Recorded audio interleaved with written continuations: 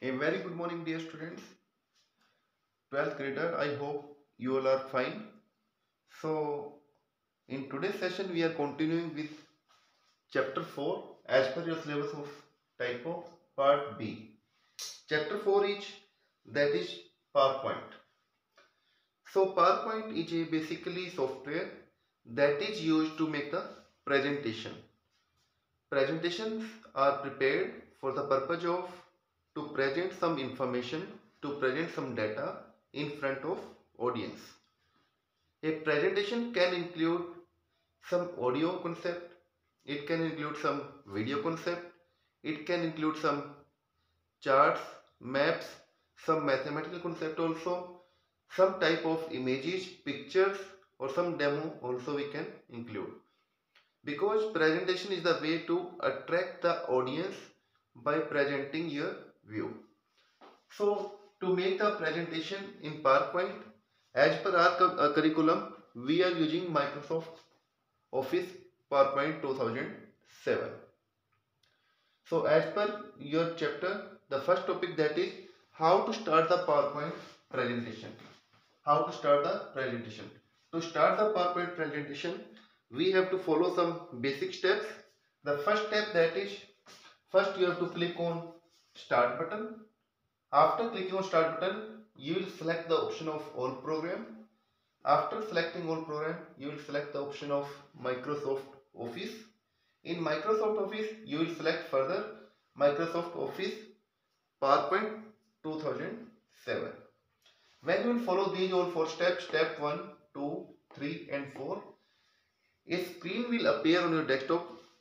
That screen is the view of your PowerPoint window. That is the application view of your PowerPoint window. After opening the PowerPoint software, after opening the MS Office PowerPoint 2007, now next concept is how to create a presentation, how to make a presentation. To make the presentation, we need to open the new file.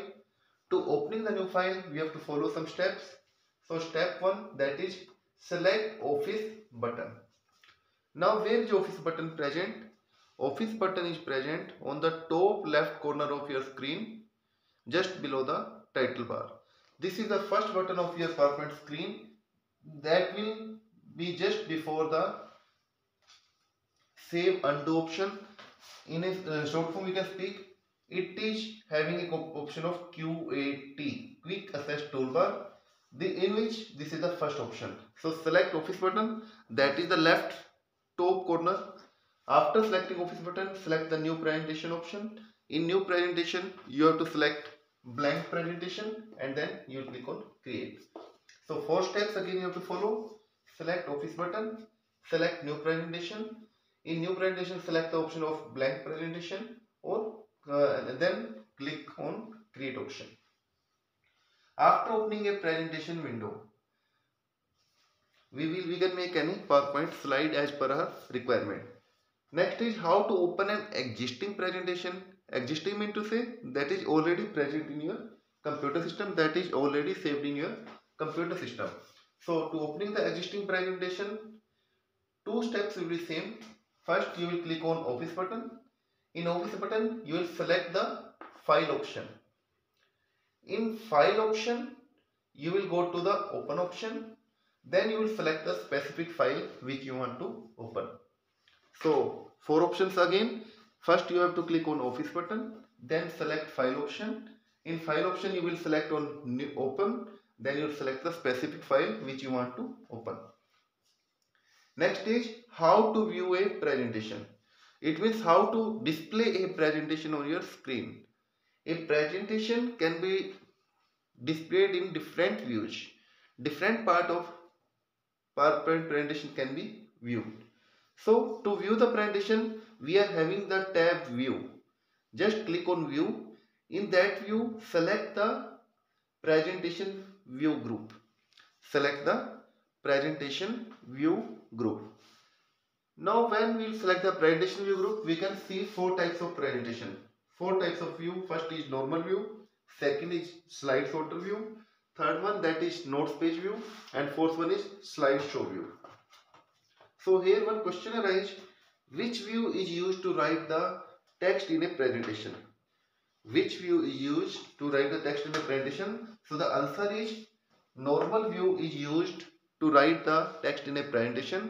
It is also known as default view where a user can type the content according to the requirement. It is also known as default view. Normal view contains basically four types of working areas. It is having four type of working areas. First one working area that is outline tab. Second line, second working area it can be notes pane. It can be a slide tab, then notes pane. And fourth one it contains that is slide pane. where a user can make the slide editing. Sometimes it happens, examiner will ask the question slide pane option is available in dash view. The answer will be it is available in normal view. Second view that is slide sorter view. Slide sorter view is used to display the slide in the form of small images. These such images are known as thumbnails. It is used to present the slide in small images. That small images are known as thumbnails. Now again one question arises which view is used to rearrange, add or delete the slide. So the answer is slide sorter view is used to add new slide, delete a slide or rearrange a slide. So which view is used? It is slide sorter view. Next is notes page view. Notes page view is generally is used to prepare the page layout of notes and slides. It display a page layout of notes and the slide. It allow to rearrange the notes and slides. It is generally used to rearrangement of notes and slides of your data. And slideshow view. Slideshow view is the final view of your document that is presented in front of audience with some animation and transition effects. It means you can make your presentation attractive by some animation and transition effects. And the final view that is present presented in front of audience that is known as slide uh, slideshow view. And the shortcut key for slideshow view that is control plus F5 uh, sorry uh, function plus F5 or generally we are using F5 so correct answer is F5 or function plus F5. This is the shortcut key, shortcut key to show the present in front of audience. It is a full screen view in which a user cannot edit the slide. This view is to present the slide in front of audience. After covering different types of views, now we'll come to the next part of slide that is working with slide, which type of working we can perform on a slide.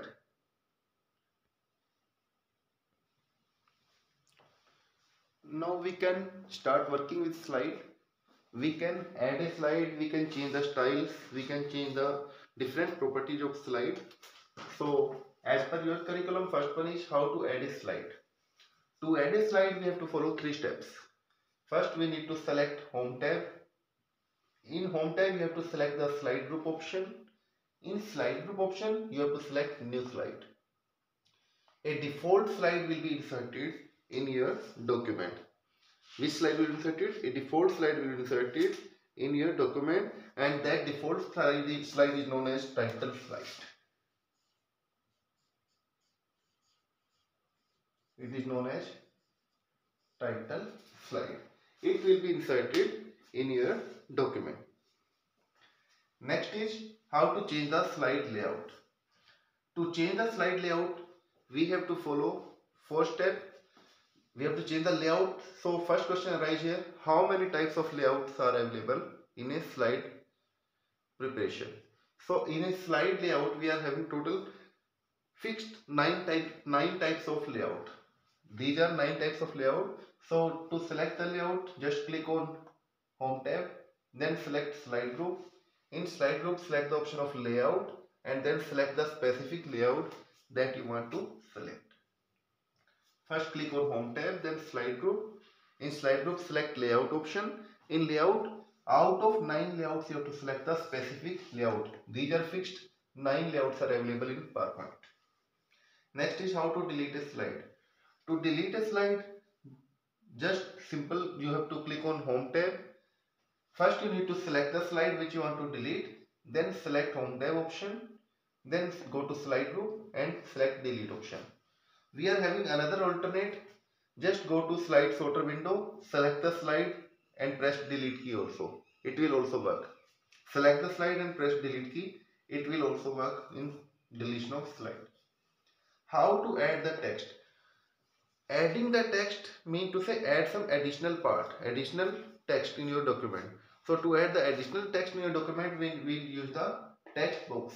How to insert the text box to insert the text box we will click on insert button in insert we will click on text group in text group we will select the text box option after selecting the text box option we need to drag and drop the text box so click and drag mouse to draw the text box a text box will be displayed on your screen and type the text in the text box. So two steps are there. First you are inserting the text box, afterward you are adding the text in a text box. Next is how to move a text box. Move me to say to change the position. Suppose I am taking the example this is a text box. How to move this text box from this position to another position.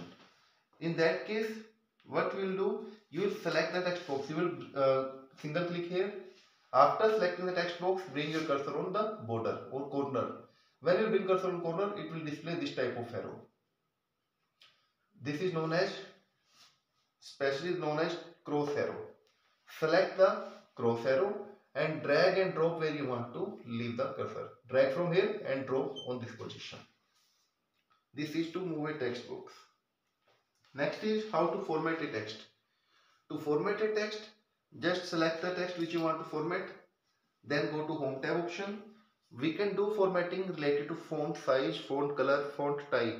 So we will select font group option. In font group we will select the specific size, type or color which we want to do edit. Next is how to adding the word art. To add the word art, we have to click on insert option. In insert option you will select text group. In text group option, you will select word art, then you will type the text in a word art. Word art is a way to present your slide in an effective way. It will provide approximately 25 types of styles in WordArt. So click on insert option, select text group. In text group, select the WordArt option and type your text and press OK. Whichever text you want to type in a WordArt option. So in this session we have covered till the topic of adding the WordArt option. In next session, in next video, we will start continue with the next part. Dear students, if you are facing any doubt in any specific topic, you can contact me on my WhatsApp number.